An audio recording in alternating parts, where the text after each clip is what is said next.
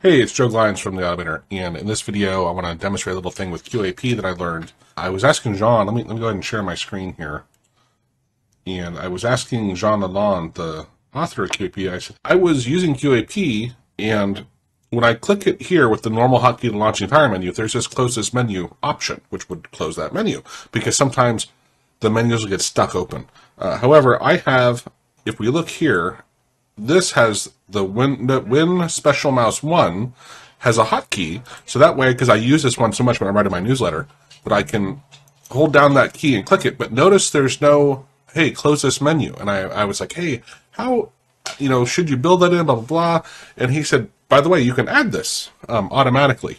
So, and here, kind of ironic, right? Is like, actually, I can't um, click away from that now. So, so I'm going to go to Customize, and we're going to navigate to where that is. So here, I'm going to add it here. So I'm going to say add, and I'm going to add a, I think it's a QAP feature, continue, um, and I think it's under QAP management. Yeah, close this window.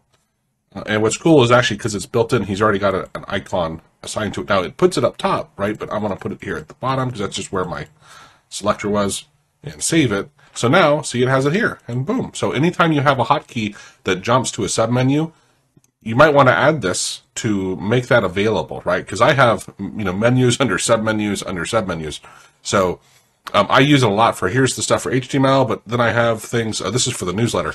But if we just look at the automator, um, I have links to my uh, different pages, to frequent posts, to things behind logins, to, you know, subsets of stuff. And if you have a hotkey like this one assigned to that menu, you can actually pull it up directly instead of having to navigate to them right? So that's where you'd want to use this, uh, add this close this menu to that item and not have to worry about it.